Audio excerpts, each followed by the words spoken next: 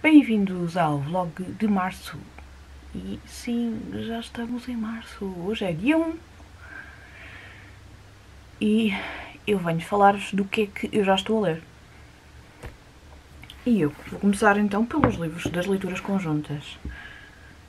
Ora, o primeiro vai ser o The Casual Vacancy, da J.K. Rowling. E vamos ver como é que corre. Um, eu confesso que não tenho não tenho expectativas em relação a este livro. É um livro que eu tenho alguma, não muita, mas alguma curiosidade porque foi escrito pela J.K. Rowling.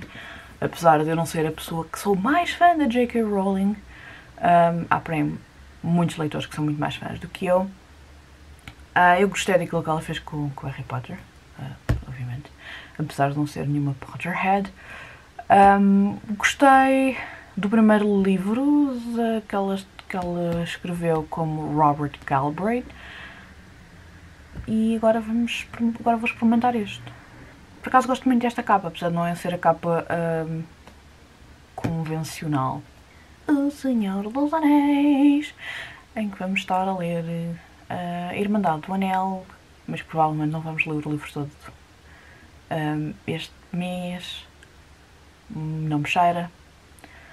Esta é a minha cópia comprada em segunda mão, que está bastante estragada por fora, mas que para ler é fantástica. E se vocês forem ver aqui, eu tenho isto escrito com coisas. Aquilo são coraçõezinhos dos meus, uh, meus capítulos preferidos. Pois. Uh, e depois mais para a frente tenho anotações em relação aos apêndices e coisas assim do género. Mas ainda não comecei, um, porque eu vou estar a ler isto e o a Reader's Companion também. E, mas eu acho que vou eu acho que vou pegar no, no audiobook porque eu tenho saudades de ouvir o narrador uh, desta história e acho que vou ouvir o, audiobook e depois vou pegar no Reader's Companion. O que é que eu comecei a ler? Bem, ontem, ontem terminei a Rainha Branca, ah, porque eu decidi que não ia deixar esse livro ficar para este mês, senão ah, iria ficar por ler ainda mais algum tempo. Um, e quis começar a ler mais qualquer coisa. Então escolhi o Affinity da Sarah Waters. Isto parece mesmo um, um livro, não completamente, mas uh, grande parte, parece mesmo que, que somos transportados para, para uma Inglaterra de outros tempos. E eu, eu estou a gostar bastante porque a Sarah Waters, a linguagem dela, transporta-nos para esse tempo. Que é ótimo, porque às vezes nós lemos livros, como por exemplo o livro que eu li uh, o mês passado da Mary Riley. Também estava traduzido para português, também não, não sei se era isso. Não sei se era só isso. Uh, mas eu senti falta de algum. Não é calão, mas há algumas coisas que são, que são palavras muito típicas que hoje se calhar já não se usam, mas que, que ajudam a, a, criar aquele ambiente. Uh, eu já li 50 páginas e uh, logo no primeiro capítulo temos a descrição da prisão, uh, porque a nossa personagem principal, por acaso, que eu, é Margaret, ainda não, ainda não estou completamente apegada aos nomes, um, teve alguns percalços na sua vida e agora uh, foi sugerido que ela comece a fazer visitas a uma prisão feminina, uh, pelo menos à parte feminina, um, para tornar-se uma espécie de exemplo para aquelas eh, pobres almas. E ela vai encontrar lá alguém, que já encontrou nas 50 páginas que eu um, já li, e vai ser interessante, porque agora vamos descobrir mais coisas sobre a Celina, que é a outra personagem principal, e eu acho que vai ser interessante. Eu acho que vai ser muito interessante. Estou a gostar bastante do ambiente que, que as escritoras uh, queria. Aliás, eu já tinha quase a certeza que ia gostar. Tudo aquilo que, todas as sinopses que li dos livros delas, fiquei. Eu tenho que ler isto um dia. Ora, como é que andam as minhas leituras? Hoje é dia 7 e eu estou a ler os dois livros de leituras conjuntas que, que tinha falado na minha TBR. Portanto, estou a ler A Morte Súbita de J.K. Rowling, uh, estou a ler O Senhor dos Anéis e o A Reader's Companion. Uh, depois, o que é que eu comecei mais a ler? o Affinity da Sarah Waters. Estou a gostar bastante, mas eu depois acabei por começar outro livro, entretanto, porque este livro requer alguma atenção que eu não lhe podia dar no momento. Eu queria uma coisa que fosse mais rápida de ler, mas eu estou a gostar muito. Como eu estava a dizer, eu comecei o outro livro e um, ainda não tinha chegado a meio do, do primeiro capítulo. Os capítulos são muito grandes deste livro. E percebi que isso é uma leitura muito rápida isto mais uma ou duas, duas leituras e uh, termino. E é o The Wonder da Emma Donahue, que está a ser muito interessante. Isto me acaba por ser uma inglesa que é enfermeira e a maneira como ela uh, reage uh, ao chegar a uma Irlanda uh, supersticiosa, muito que vive, que parece que vive num século anterior àquilo que vive em Inglaterra, em Londres, porque ela vivia, acho que ela vivia em Londres. Pronto, são duas realidades que parece que não têm nada a ver e eu até agora estou a gostar. Uh, é um livro que se lê muito bem. Uh, é a primeira vez que eu estou a ler Emma Donahue e, e até agora estou a gostar. Mas pronto, vou quase a meio. É o primeiro marcador de livros. Uh, o outro, o segundo marcador de livros que aparece é quando acaba o próximo capítulo e eu, quando ler, provavelmente irei ler um capítulo inteiro. Uh, ontem, ontem à noite, uh, em vez de terminar um livro ou de ler mais alguma coisa dos livros que estou a ler, uh, decidi experimentar ler dois livros. Portanto, li o primeiro capítulo de um livro do Dan Simmons. Um, agora não vou buscar, não faz mal, eu não vou ler já esse livro. Um, provavelmente vai ser um dos livros que eu irei pegar um, a seguir a um destes que estou a ler. Uh, gostei imenso do primeiro capítulo, aliás, a minha vontade era continuar a ler. E depois experimentei ler um bocadinho do To the Lighthouse, eu acho que é esse o nome, da Virginia Woolf. Uh, é uma história interessante, eu acho que vai ser uma história interessante, mas eu decidi não continuar a ler, uh, pronto, não ler a Virginia Woolf este mês porque eu já tenho muitas leituras e hum, algumas delas bastante complexas. O Senhor dos Anéis, como estou a ler, o Reader's Companion, é complexo. Este livro da Sarah Waters, apesar de ser interessante, também é um pouco complexo, então eu decidi. Uh, vamos ter calma, tenho ali muitos livros ainda para ler e vou guardar a Virginia Woolf para outro mês. Hoje é dia 13 de março e eu venho falar do que é que ando a ler. Portanto, continuo com os livros de de leituras conjuntas, portanto o livro da J.K. Rowling e o livro do Senhor dos Anéis. Uh, continuo a ler o Affinity da Sarah Waters. Estou sensivelmente a meio, estou a gostar bastante. E um, o que é que eu estou a ler mais? Uh, estou um, a fazer uma leitura entre o audiobook e o livro do Great Expectations do Charles Dickens. Portanto, que também não é uma leitura que não devo terminar este mês. Ou não, não sei. Eu não sei como é que vai ser, mas em princípio não deve terminar. Mas que é algo que eu quero ir lendo. Hoje é dia 19 de março. Um, o que é que tem acontecido na, portanto, desde o último update? Eu, entretanto, acabei de ler mais um livro. O que é que eu ando a ler? Estou atrasada na leitura do livro da J.K. Rowling, A Morte Súbita. O livro está a ser interessante, mas eu não tenho conseguido ter tempo para pegar nele. Tenho estado a ler O Senhor dos Anéis, o primeiro livro, Irmandade do Anel, mais especificamente o primeiro livro dentro do primeiro livro. Uh, porque como eu, como eu leio esse uma parte do livro é sempre em audiobook, um, posso estar a fazer outras coisas ao mesmo tempo. Por isso mesmo tenho conseguido acompanhar mais do que a uh, outra leitura. Ainda não li, ainda não comecei a ler o livro da leitura conjunta de Seven Waters. Um, que é agora em março e abril.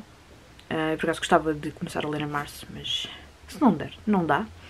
Uh, eu também sei que é um livro que se eu começar quando eu pegar nele vai ser muito rápido de ler. Um, por isso também tenho estado, não tenho dado com tempo para ler livros. Em termos de audiobook, tô, estou também a ouvir o Great Expectations, As Grandes Esperanças, será que é assim que é em português? Não tenho a certeza, do Charles Dickens. Um, já ouvi 20 capítulos, um, portanto já foi bastante. E, e, pronto, até agora tem sido aquilo que eu estava à espera. Não, o que eu não estava à espera é que o inglês fosse tão fluido. Um, sinceramente não estava à espera disso. Pronto. Obviamente que não é um livro que se desenvolva muito rapidamente.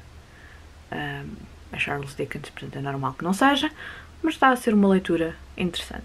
Não sei se se vou pegar em mais algum livro. Tenho, tenho um livro de fantasia que ficou parado desde o mês passado. Uh, tenho mais alguns livros que gostava de ler para o março feminino, mas não sei se vai ser uh, possível. E supostamente no início de abril não iria haver book haul, mas no dia do encontro do Clube dos Clássicos Vivos eu recebi um livro e comprei um livro. Pam, pam, pam. Pois, não era suposto. E também sei que vou receber alguns livros no início de abril. E por isso irão ver todos esses livros esperemos que mais nenhum. Um, até lá. Até lá não. Durante o mês de Abril. Na segunda quinzena do mês de Abril. Qualquer coisa assim.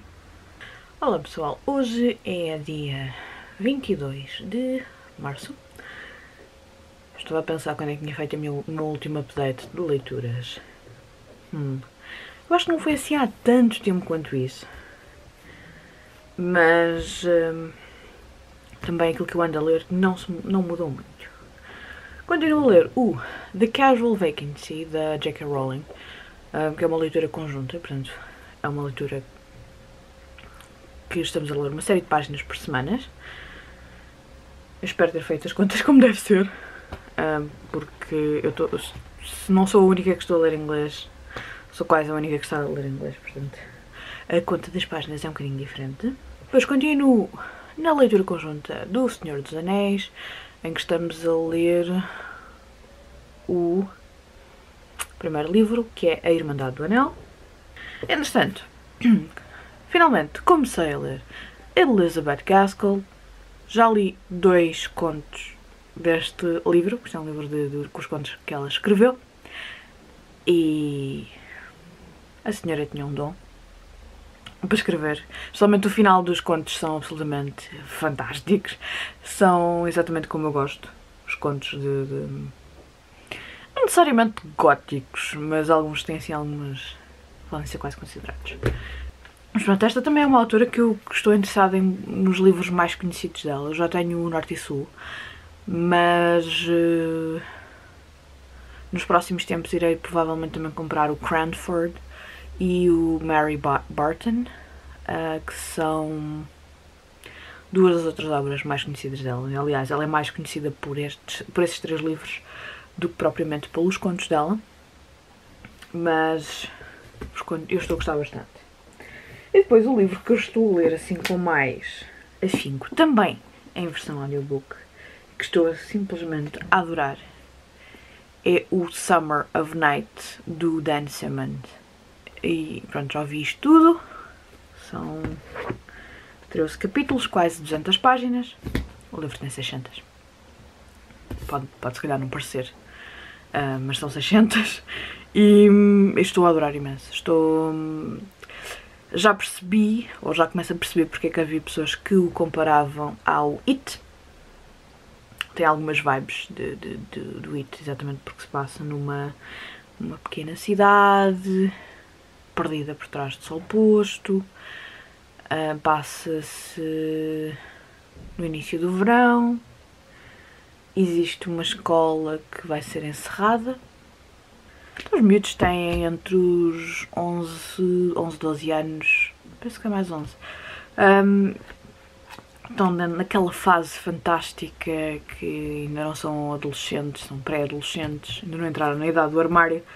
Portanto, ainda têm medos infantis, mas alguns deles já estão. Eu já não sou uma criança, eu já sou um teen.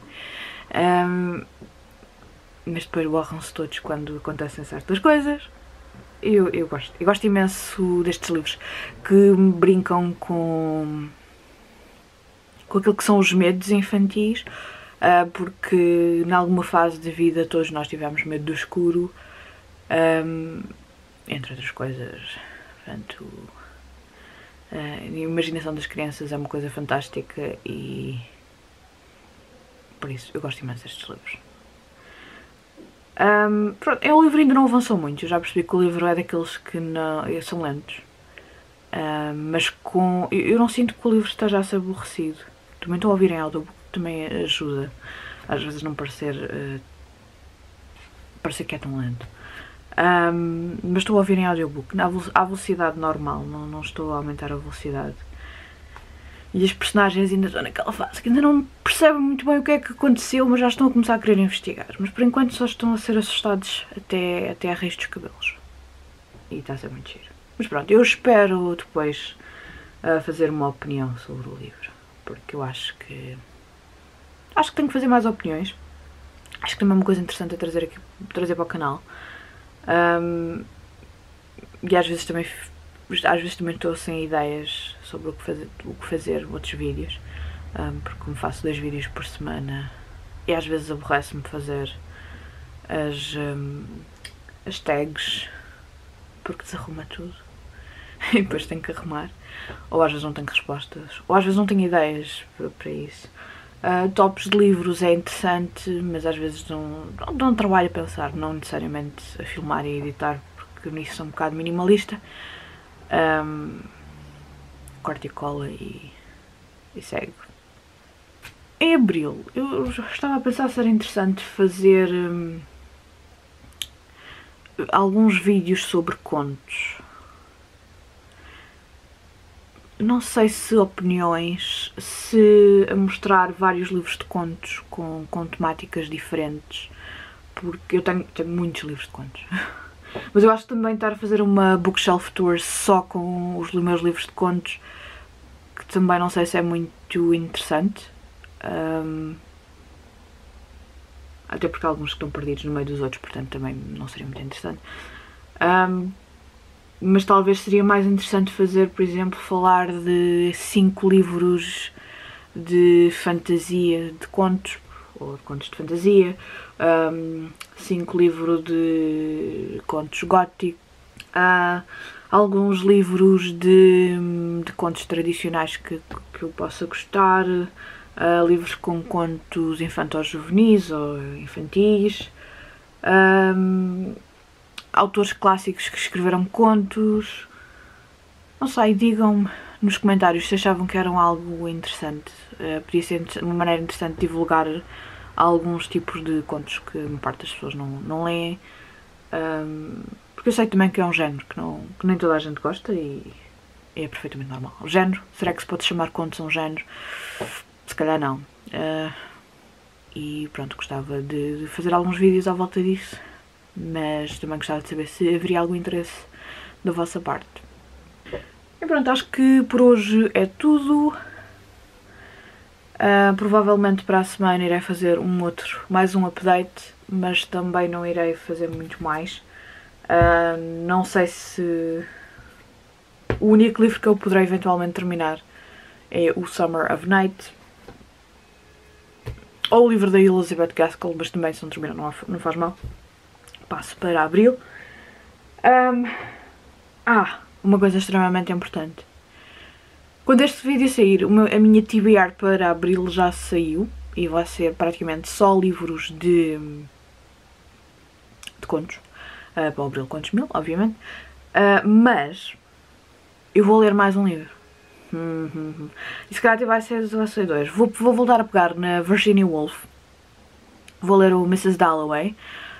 Uh, com, para o, o, o grupo da Elisa, Elisa? Sim, a Miúda Geek, uh, porque ela tem uma votação mensal todos os meses. Ainda é um bocadinho cedo para mim, portanto, uh, mensal todos os meses foi aquilo que saiu. Que, hum, em que há a votação de um livro e o livro que ficou, foi mais votado para abril foi a Mrs. Dalloway e eu quero ler mais Virginia Woolf e por isso mesmo vou aproveitar porque é sempre interessante uh, depois discutir este tipo de livros com outras pessoas que também leram o livro. Vou aproveitar provavelmente também para ler o To the Lighthouse da Virginia Woolf porque eu comecei a ler esse livro, li as primeiras páginas desse livro este mês.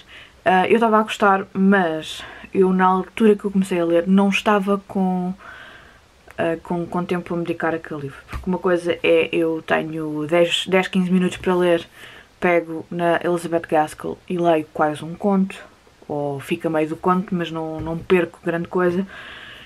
Outra coisa é pegar no, no To The Lighthouse que uh, os capítulos e a própria escrita é um bocadinho mais densa para realmente perceber o que é que, o que, é que se passa na, na, na história e pronto, não dá para ler se calhar só 15 minutos, se calhar preciso de ler meia hora para, para entrar no livro e eu não estava com tempo para fazer isso uh, e por isso mesmo acabei por o pôr de lado. Mas é um livro que eu estou bastante interessada e a personagem, o personagem principal parece-me que vai ser assim também interessante.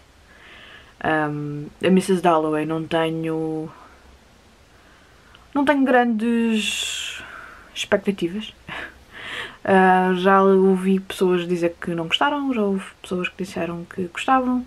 Uh, já foi, foi um dos livros que me recomendaram para começar a ler Virginia Woolf.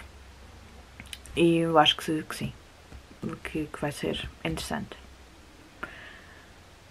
O que é que eu tenho mais a dizer?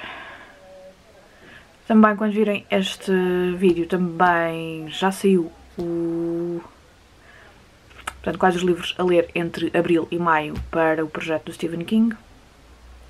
E estará também a decorrer a leitura do segundo livro de Seven Waters, da Juliette Marillier. Acabei de chegar a casa e recebi um pacotinho. Eu ainda não sei se vou pôr uh, este vídeo no vlog ou vou pôr no book haul Ups, acho que perdeste tudo. Enfim. É um pacotinho da Dora. Consigo tirar.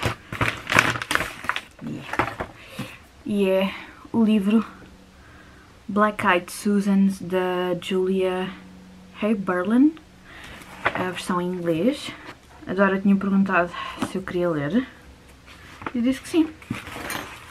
Isto é o livro por dentro, é hardcover. Por acaso, as guardas são fantásticas. Com as florzinhas. Eu não sei muita coisa sobre este livro. Ou melhor, eu acho que não sei nada sobre este livro. Uh, tenho ideia que é um thriller. E eu gosto bastante de thrillers, por isso. Este parece-me ser uma ótima opção. Obrigada, Dora. Eu acho que vou gostar da história deste livro.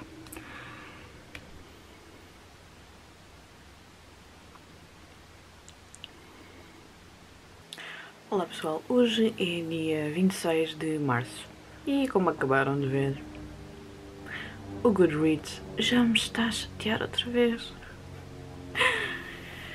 Uh, na verdade, eu este fim de semana tinha o objetivo de terminar um livro. Mais especificamente, terminar o Summer of Night do Dan Simmons, que estou a gostar bastante. Um, e como podem ver, também não falta assim tanto mas uh, o tempo passou a correr este fim de semana e quando dei por isso não tinha terminado o livro. No entanto, em vez de terminar um livro, o que é que eu fui fazer? Fui começar outro livro.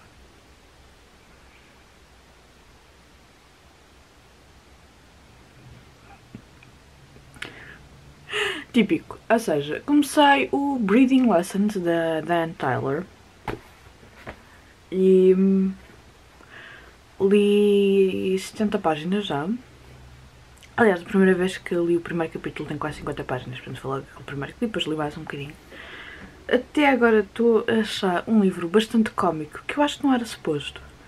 Uh, estas personagens estão a parecer bastante cómicas, um, bastante ridículas também, mas ao mesmo tempo também muito reais. Sabe? Aquele tipo de pessoas que nós uh, podemos encontrar uh, no nosso dia a dia, onde quer que a gente vá.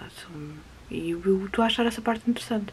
Vamos ver por onde é que isto vai, até porque assim, isto é um livro. Por aquilo que eu percebi, a história não vai um, a lado nenhum muito especial. Isto passa-se durante uma viagem de carro em, em, que a Maggie e o seu marido fazem para ir ao funeral de um, um de uma pessoa amiga. É que vai ser, um, vai ser um dia cheio de altos e baixos com. de ficar sem a luz. Um, e, e, pronto, vai ser isso.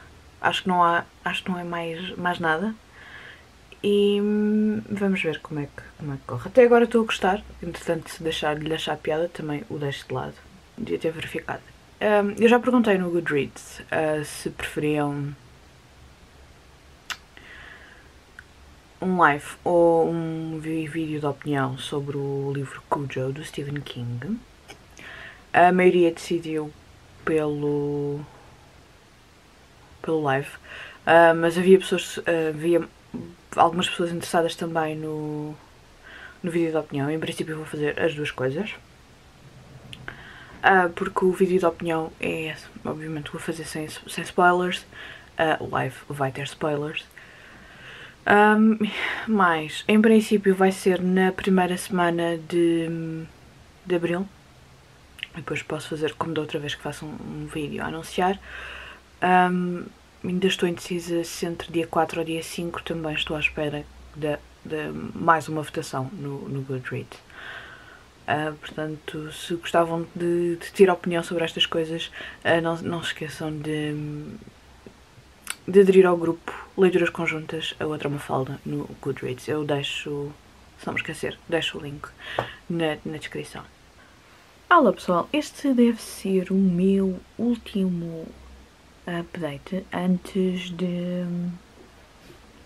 publicar este vlog. O que é que eu ando a ler? Bem, continuo nas leituras conjuntas. O,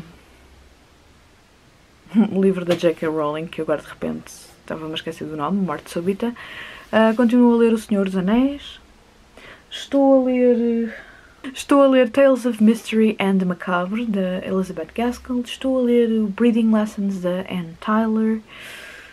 E, e, basicamente é isto que eu ando a ler.